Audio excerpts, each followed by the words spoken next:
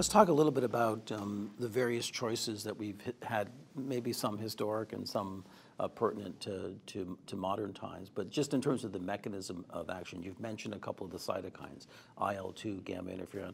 H how are they um, helping the immune system uh, to fight cancer? So, um, in, you know, in, in, in general, um, we don't fully understand interleukin-2. Uh, IL-2 is uh, approved for the treatment of metastatic uh, melanoma and renal cell carcinoma, and there's no question it can lead to durable responses. And uh, now that we've had a chance to follow patients for 15, even 20 years, these, these probably are really cures uh, in these patients. We think that the main way that IL-2 works is it really acts as a T cell growth factor.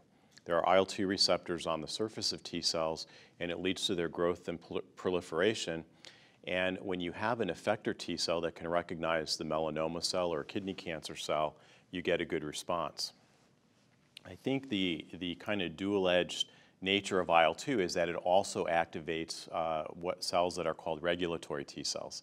And these regulatory T cells also contain IL-2 receptors and can expand up, and they actually block immune responses. We don't really understand why in some patients those effector cells will be preferentially expanded and in some patients the regulatory cells will expand, but there's a lot of research going on now to really try to understand that, to try to block the regulatory cells and really let IL-2 work on um, the, the effector cells. Other cytokines in development, for example, interleukin-15, seem to be more preferential for those effector cells, for the memory cells, the kind of cells we want to see to eradicate a tumor. And so that's going to uh, be interesting as this is being uh, tested in many clinical trials right now. John, the, um, you know, probably the most exciting agents we've seen across a number of solid tumors have been the monoclonal antibodies mm -hmm. to specific targets, CTLA-4, right. uh, PD-1 or PD-L1. Yeah. Talk us through the monoclonal antibody and, and, and, what's going on there. Sure. You know, so, so this work is really probably the single biggest breakthrough, I think, that has led to immunotherapy being a modality that we consider a standard now just in the last, last couple of years. So it, it, had been observed that very often T cells could be present, but were being inhibited from fighting the cancer, and it wasn't understood for a long time why that was happening. Um, you know, now as Howard mentioned, you have different types of T cells. You have T regulatory cells that we think you know help keep the brakes on, and T effector cells that do the heavy lifting in, in killing T cells. Um, it was uh, it was finally understood, and, and, Jim Allison was one of the pioneers, and a lot of others have contributed to this uh, that there were things that were inhibiting T cells from, uh, uh, from doing their work. Uh, and we now call these the checkpoint factors.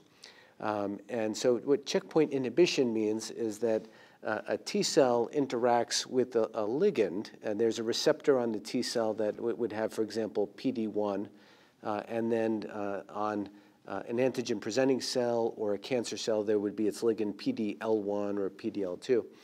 And when those two interacted, that would stop the cell from attacking. Now, likewise, the, the first one discovered was CTLA4.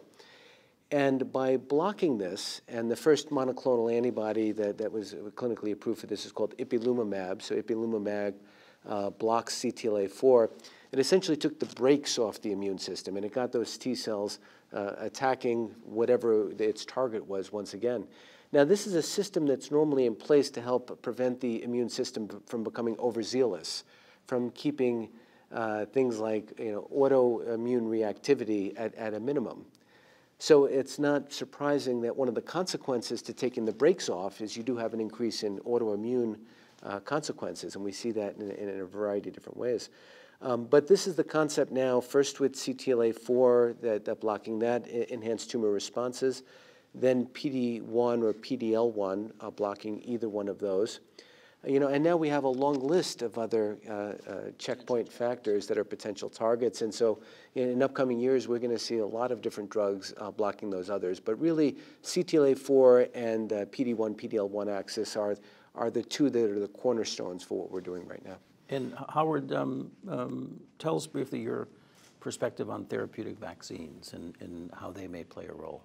So I think, you know, a lot of the core of, of how T cells work are, are they're really designed to recognize an antigen. And so the concept of vaccination is that if you knew what the antigen is that the T cell is seeing, you could simply immunize the patient and get an immune response to it. And while I think that makes sense, I don't think we really understood all of the other factors that can influence the T cell response. And the success of the, the checkpoint inhibitors, of course, is, is, has really put them front and center in the field.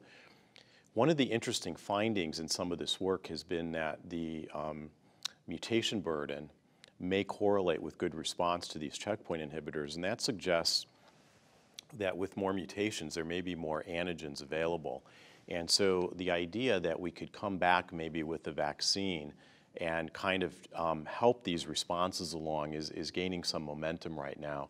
I think we, the field suffers from a lot of negative vaccine studies that were done early on because I think we didn't really understand what was going on in the tumor microenvironment. And if you really look at some of the more carefully done trials, there was evidence that you could generate T cell responses with these vaccines, but probably when they get close to the tumor, they just were being suppressed or, or energized and really couldn't do their job. So I, I think we're going to see more with vaccines in the, in the future. And you know, we'll have to put them into the clinic and test them to, to really see what their full potential is. Any hope of a patient having a customized vaccine for their cancer? Well, I mean, it's a good, it's a good question. You know, the, the idea is that um, if we could um, somehow uh, logistically figure out what mutations are in a given cancer, and so the developments in precision medicine, of course, are very interesting to us because you can now rapidly survey the, you know, the tumor genome and see what, what's happening.